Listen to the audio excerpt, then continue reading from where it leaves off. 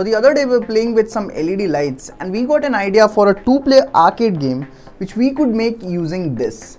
If you don't know what this is, this is basically the LED lights we use in our festivals at our home. This two-player arcade game is going to be a fight till the death, created only for the brave and the fearless, where the only thing which makes you win this game will be your ability to press button faster. Yes, you heard it right. Basically, whoever will press the most buttons in the shortest amount of time wins. We will also add different light art for when any of the player wins or when it's a tie.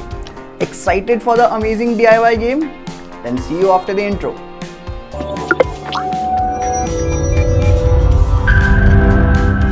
The first thing we needed to do was designing its body. Yeah well, I'm no expert in solid modeling, but I say I did an excellent job with it.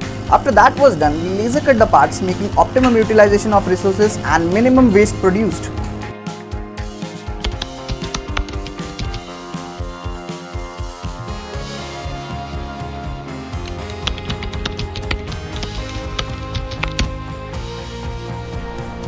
So these are all the parts after the laser cutting. You can see this is the front cover. So we have here is this is the back cover and these are all the side plates which we got. So you can already see that what I did is I have attached the pieces to the front cover so I can later connect it to this back cover here and it will look like this. So after we were done with the laser cut, we started with the electronics. So here's a short summary. So this is an Arduino. This is the light strip which we saw earlier. These two are red and green push buttons and this is the battery. So I connected the battery to the Arduino first. I added this small switch so I can turn it on or off whenever I need.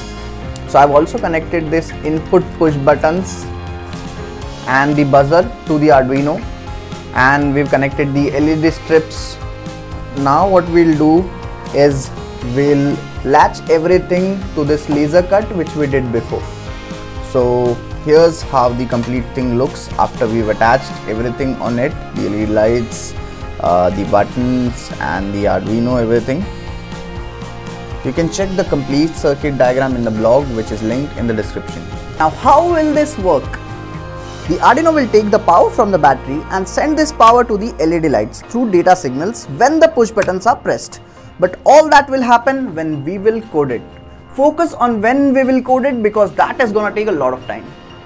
So the Arduino here is like a brain for the complete thing. You see when I press the red button, the LED from this side will start to turn on and when I'll press the green button, the LED on this side should turn on the more button you press the more LEDs should turn on okay let's move on to its coding now. Okay so first download the Arduino IDE from the official website.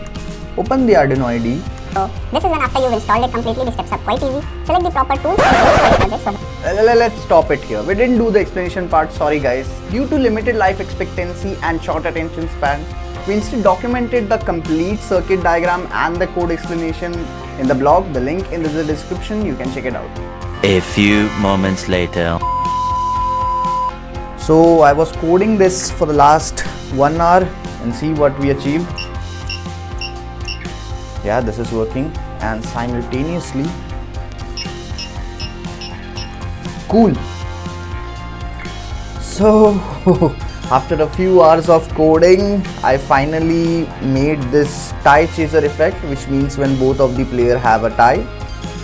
So it goes like this. We've also created some chaser effects for when the red player wins or when the green player wins. Now let's assemble all the back plates and the side plates to this game and let's take at its final look.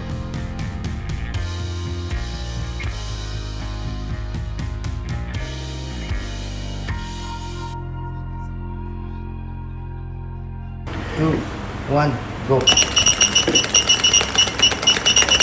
Okay, nice, nice. Green one. Red, red, red, red pieces. Oh, nice. Okay, next. One more. Go.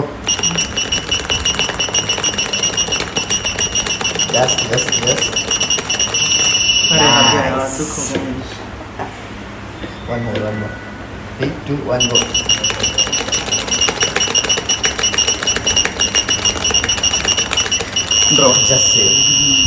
One more. Three, two, one, go. Draw Just save. So I think we'll keep enjoying this game for some more time. Hope you like this video. If you did, make sure to hit the like button below so we can keep making this kind of content for you and so YouTube G recommends us to more people.